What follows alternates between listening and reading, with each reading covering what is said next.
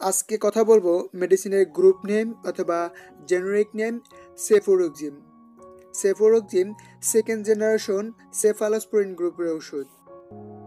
Antibiotic হলো সেই সব ওষুধ যা ব্যাকটেরিয়া ছত্রাক বা পরজীবী ধ্বংস করে অথবা তাদের বিষক্রিয়া নষ্ট করে।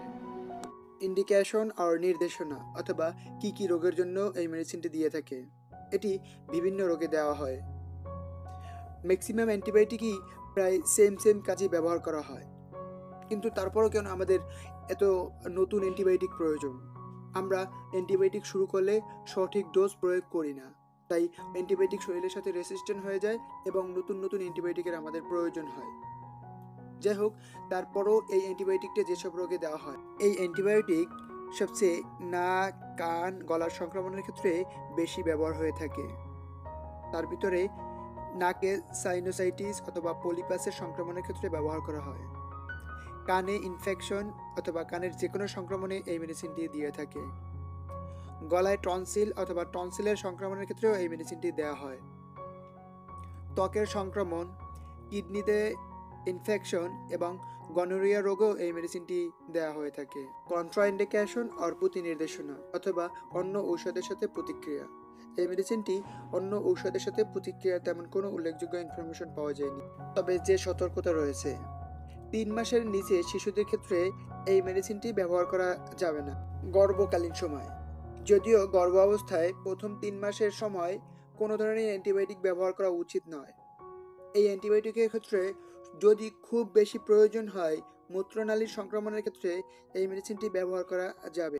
এছাড়াও যাদের সেফালোস্প্রিন গ্রুপের অ্যান্টিবায়োটিকের প্রতি অতি সংবেদনশীলতা রয়েছে, তাদের ক্ষেত্রে এই মেডিসিনটি ব্যবহার করা নিষেধ।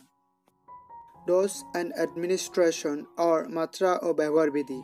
কখন কীভাবে এই মেডিসিনটি আপনি খাবেন? এই বিষয়টি সম্পূর্ণ নির্ভর করবে রোগ, রোগী এবং ডক্টরের উপরে। তারপরেও কিছু বেসিক কথা আমি বলছি। অ্যান্টিবায়োটিক কখনোই অযথা খাবেন না। নিজে নিজে সিদ্ধান্ত নিয়ে অ্যান্টিবায়োটিক খাবেন না।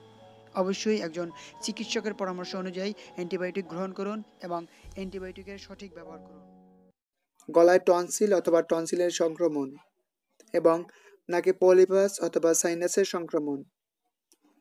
কিডনি অথবা কিডনির সংক্রমণের ক্ষেত্রে দুইশো পঞ্চাশ মিলিগ্রাম করে বারো ঘন্টায় একবার অথবা দিনে দুইবার দশ দিনের জন্য। ব্রঙ্কাইটিস অথবা শ্বাসনালীর সংক্রমণের ক্ষেত্রে দুইশো পঞ্চাশ মিলিগ্রাম থেকে পাঁচশো মিলিগ্রাম দিনে দুইবার, পাঁচ থেকে দশ দিনের জন্য। ত্বকের সংক্রমণের ক্ষেত্রে দুশো মিলিগ্রাম থেকে পাঁচশো মিলিগ্রাম, বারো ঘন্টায় একবার অথবা দিনে দুইবার দশ দিনের জন্য। গনোরিয়া রোগের ক্ষেত্রে এক হাজার মিলিগ্রাম অথবা ওয়ান মিলিগ্রাম দিনে একবার একটাই মাত্র ডোজ। সাইড এফেক্ট আর পার্শ্ব প্রতিক্রিয়া অথবা কি কি উপসর্গ দেখা দিতে পারে এই মেডিসিনটি খেলে? যেমন ডায়রিয়া। মাথা ব্যথা, খিঁচুনি, জন্ডিস বমি বমি ভাব, পেট ব্যথা, ঝিমুনি এবং রাতে ঘুম কম হওয়া। এগুলো সাময়িক সময়ের জন্য দেখা দিবে। ওষুধ খাওয়া বন্ধ করে দিলে আবার সব ঠিক হয়ে যাবে। এর জন্য আলাদা করে আবার নতুন কোনো ওষুধ খাওয়ার প্রয়োজন নেই।